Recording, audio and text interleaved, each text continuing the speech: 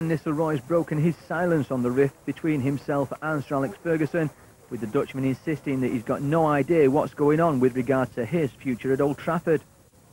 From the Dutch training camp in Switzerland, where Van Nistelrooy is preparing for the World Cup with his international teammates, he said, I know a lot of people in Manchester don't understand it. Well, it's the same for me. I love Manchester United. That is why I don't really understand it. I have two years left on my contract, and if things stay the way they are, I will still be at the club next season.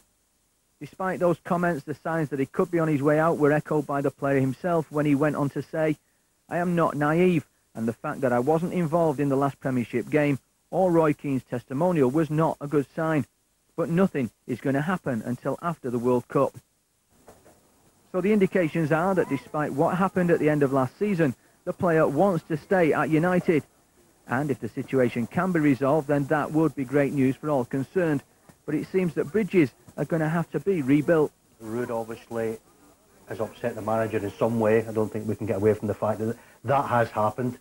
Um, is top goal scorer for a number of years. This season, what, 24 goals, didn't play every game. Um, where do you find a centre forward? Guaranteed, and Ruud's guaranteed, his performances week in, week out, like all centre forwards, you can't say they're guaranteed because some weeks when the ball's not finding the back of the net, you could point a finger at him and say, well, it hasn't one of his better games. That applies to all strikers, though, Steve, whether you're Ruud van Nistelrooy or the greats from the past. But something has happened. We've heard from Ruud today, which I'm pleased because, you know, sometimes you only hear one side of the story. This is Ruud speaking from the, the Dutch camp in Lausanne, I believe.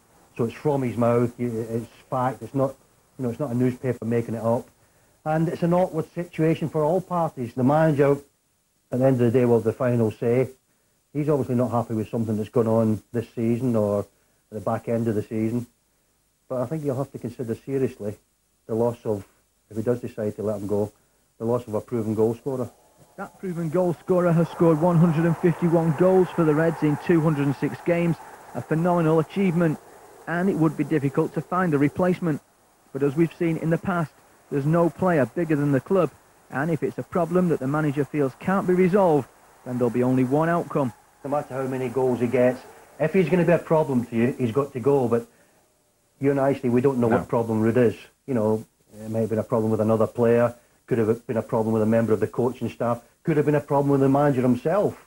What that problem was, the fact that we'll never get to the bottom of it, we'll probably never hear what the real problem was. It's difficult to make a, you know, a decision on who's right here and who's wrong. But what you can say is, where do we find a replacement? Where do we find someone who's got so many goals in so many games? We're comparing his record to the best record of any striker at Old Trafford. We can't get away from those facts. They're there. They will never disappear. He has proved a fantastic goal scorer. But at the end of the day, whatever the problem is, if, it, if it's severe enough, the manager will make a decision, and that decision will be that Ruud moves on. Only time will tell. At the moment, the odds are against Ruud van Nistelrooy still being at Old Trafford at the start of the new season. But a good World Cup campaign from him and the settling of his differences with the manager could yet resolve what is obviously a difficult situation. If both those things happen, the fans could yet still see him turning out for United at the start of the new campaign. Paul Anthony, Red Hot News.